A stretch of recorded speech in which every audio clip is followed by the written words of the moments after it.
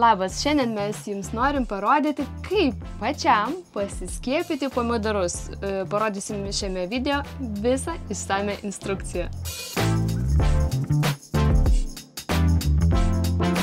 Esu su Rasa iš Sikluvos. Sveika, Rasa. Sveiki. Ir dabar mes parodysim visą išsame instrukciją, kaip pačiam pasiskiepyti pomidorus. Jau esame nufilmavę, koks fantastinis įderlis yra ir kaip jie yra atsparus lygoms. Sulaukėm daug klausimų, o tai ar įmanoma pačiam tą pasidaryti? Ir nutarėm, kad mes galim pasidalinti visų šituo procesu. Taigi pradėkim iš eilės. Pradėkime nuo to, kad reikia pasisėti. Ir atskiri mes turime pasėti tą apatinę skiepo dalį ir viršutinę skiepo dalį, nes galiausiai mes juos sujungsime. Kada reikia sėti? Poskiepiai tai yra ta apatinė dalis augalo yra siejama anksčiau 3-5 dienom negu ta viršutinė.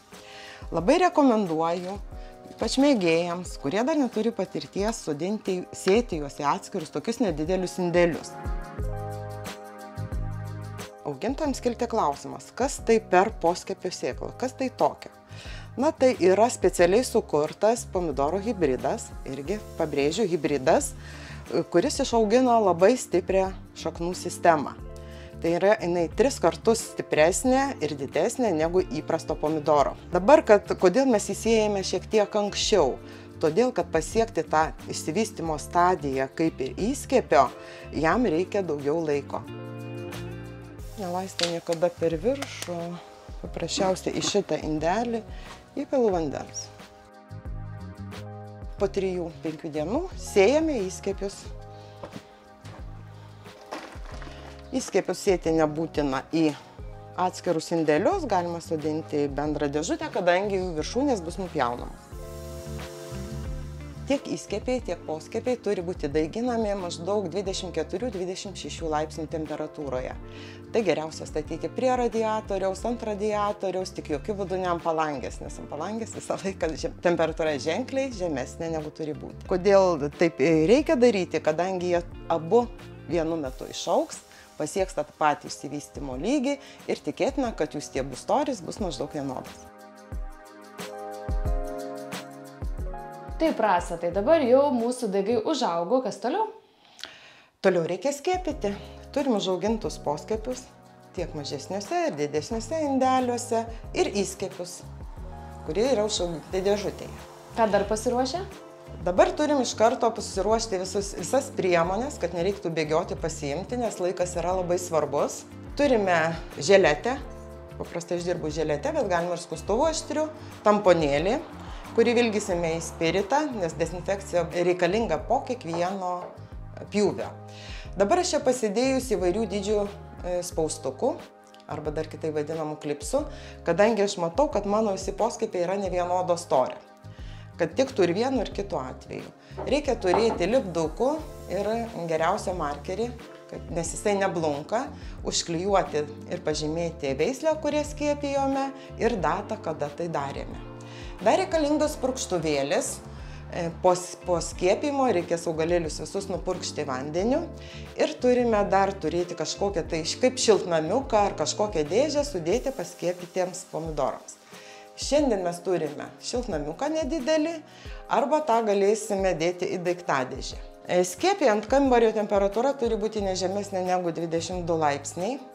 Tai yra labai svarbu, kad augalai prigytų Pirmiausia, imame spiritą, imame tamponėlį, mirkome ir išvalome želetę.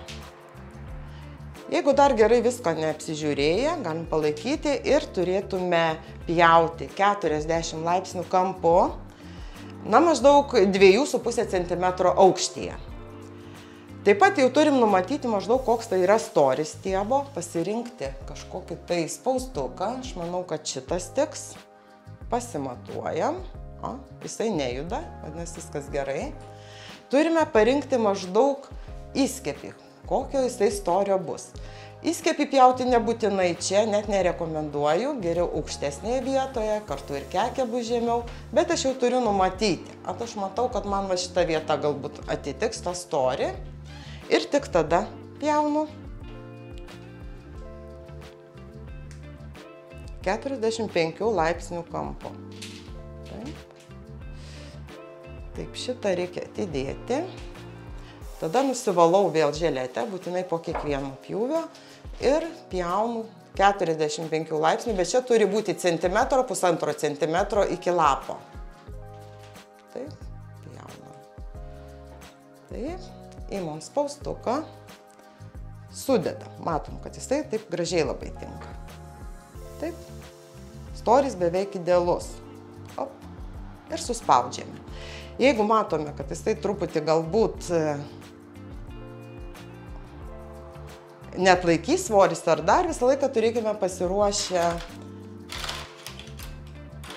na, kažkokiu tai lasdeliu, kad galėtų jisai tvirtai, tai tarsi parišame.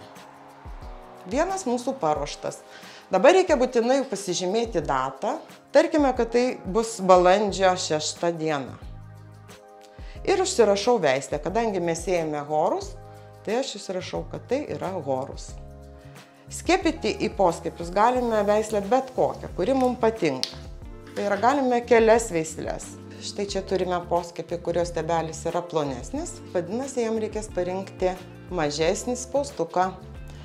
Tai manau, kad pagal storį tiks va štai šitoks. Jis yra silikoninis, jis man labai patinka, kadangi jo net nuimdinėti nereikia. Jisai pomidorui augant paskėpitam savaime nukrenta veiksmas toks. Desinfekuojam želetę, pažiūrim maždaug koks storis, paieškom savo įskėpio, kuris tiktų. Kaip ir sakiau, pjauti galime bet kurioje vietoje, svarbu parinkti tinkamą storį. Na, manau, kad šita vieta va bus jam tinkama. Vėl pjauna maždaug 2,5 cm aukštyje, 45 laipsnių kampo. sterilizuojame želetę kitam pjūviui pjausim čia taip.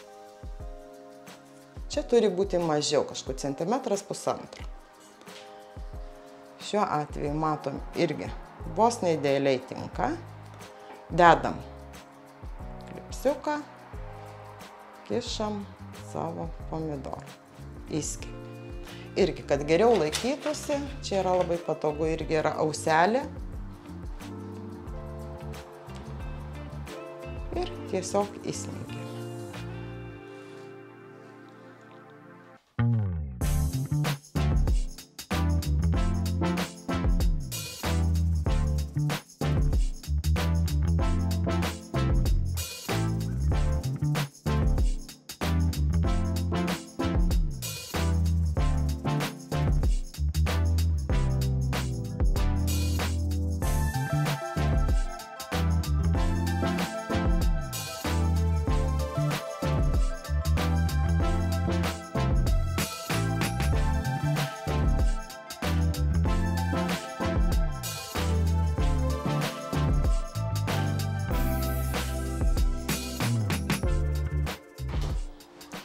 Ką toliau darome su jais? Toliau sudedame kažkokį padėklą. Yra keli variantai galimi, pagal tai, kaip kam patogu. Aišku, čia paskieptų bus daugiau pomidorų ir reikia juos tada statyti į šiltnamiuką arba aš dar labai dažnai naudoju daiktadėžę, skaidrę daiktadėžę. Mhm. Čia mes turime šiltnamiuką, jis patogus tuo, kad yra su štrauktukais, Tai mes galime visą šitą įdėti. Visą tą padėkliuką dedame, dedame, aš manau, kad ant šitos lentynos, šalia radiatoriaus, nes keptiems pomidorams reikalinga šiluma, ypatingai pirmas 3 dienas, 25-26 laipsnių temperatūra. Dabar matome, kad paskėpti pomidorai pradėjo liktai linkti, juos reikia apipurkšti gausiai. Pasakok. Gausiai, gausiai apipurškiam, apipurškiam galima ir sienelės šiltnamiuko apipurkšti. Žodžiu, kad būtų labai ore, daug drėgmės. Ir dabar uždengiame šiltnamį. Galima, aišku, pristatyti pilną ir užsegom užtruktukus iki pat apačios. Mhm. Tai reiškia, kad ta drėgmė laikytųsi. Šitaip laikome 3 dienas. Po 3 dienų Nieko netidarinėjame tris dienas, po trijų dienų galime jau pasižiūrėti, atidengti, pasižiūrėti, šiek tiek pravedinti ir šiek tiek atitolinti nuo radiatoriaus. Jau tą dieną, jau kitas tris dienas reikės šiek tiek žemesnės temperatūros, tai užteks ir 23-24 laipsnių. Vėlgi atidengę, paskui apipurškiam ir vėl uždarome, bet ne iki galo. Pro šitas ertmes daugiau pateks oro, mažiau viduje bus drėgmės, tai yra pratinsis mūsų augaliukai prie naujų sąlygų aplinkos. Dar po trijų dienų dar galime sumažinti temperatūrą, tai reiškia nuo radiatoriaus dar šiek tiek atitraukiame, užteks jau 21-22 laipsnių šilumos, apipurškėme ir prasegame dar daugiau.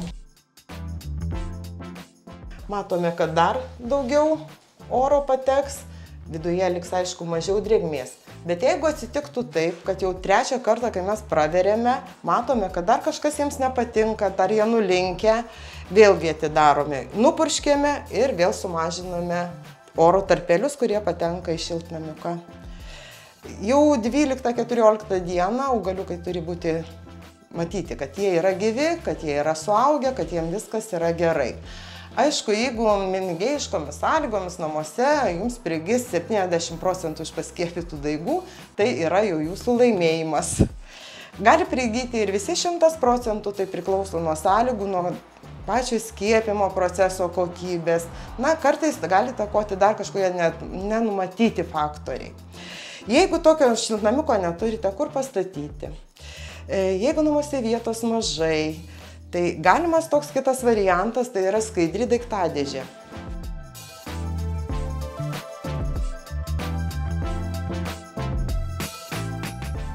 Daiktadėžė yra gana aukšta, vadinasi, tiems augaliukams šiek tiek ir vietos aukti pakaks. Tiesiog sudedame. Jau padėkliuko nereikia, nes čia nėra keurų ertmių. Po trijų dienų galima atidengti. Ką dabar darome po trijų dienų, kai čia truputį prasegėme, tai daiktadėžės dangti šiek tiek praveriame. Jeigu matome, kad ant sienelių nėra kondensato lašelių, vėlgi purkštuku nupurškėme, sienelės sausos, tai yra negerai, turi būti kondensato. Dienoms bėgant, vėl po trijų dienų didiname tarpelį, dar po trijų dienų dar didiname ir galiausiai paskutiniam trim dienom visiškai nuimame. Jau tada ir šviesa tokia nepavojinga, ir kad saulutė truputį pašvies, jau neturėtų pakengti. Jeigu matome vis dėlto, kad dar kažkas jiems nepatinka, dar kartą kelis kart per dieną nupurškime, aš manau, kad viskas bus gerai. Štai jau mes turime prigijusi ir užaugusi skiepito pomidoro daigą. Štai čia matosi, kur yra ten ta a, skiepo mūsų vieta. Taip, ir ką dabar toliau mes darom? Dabar reikia sodinti. Na, sodinimo taisyklė tokia, kad skiepo, skiepas turi būti virš žemės. Neužkasamas. Neužkasamas. Tai reiškia, kaip jis augo čia, geriausia tokiam gilyje ir sodinti. Augalas pasodintas ir jau šiek tiek paaugęs. Matome, kad lapų pažastėlėse išaugo nauji ugliukai. Jų yra daug. Jeigu augintume įprastą pomidorą, paprastai mes visus tuos ugliukus turėtume išskabyti. Kaip yra dabar su skiepytų pomidorų? Jo reikia auginti bent tris stiebus. Na, su keturiais pradedantiems ypač sunku susitvarkyti, tai rekomenduoju auginti tris.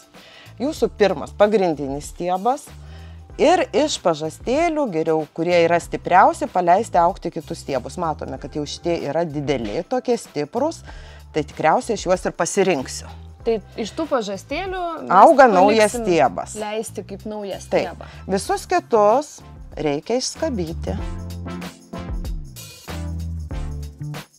Kad auktų vienas ir nesišakotų, mes jį nuolat praeidami kas savaitę pasukam, matom, kad atsirado dar kokia šakelė, mes ją įskinam.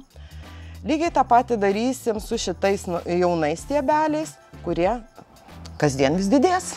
Ir iš jų, ir iš jų reikia pažastėlės, reikės skinti. Uh mhm. -huh. Čia jau irgi auga truputį, tai paskui išskabyti.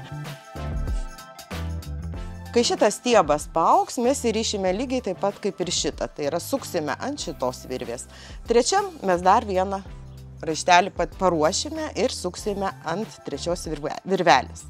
Parašykite komentare, ar esate ką nors girdėję apie skiepytus pomidorus ir ar bandysite taip pasisodinti ir auginti juos šiais metais. Ačiū labai Rasa ir ačiū Siekluvai už tai, kad parodė visą šitą procesą. Susitiksime šitame YouTube kanale kitą kartą. Iki.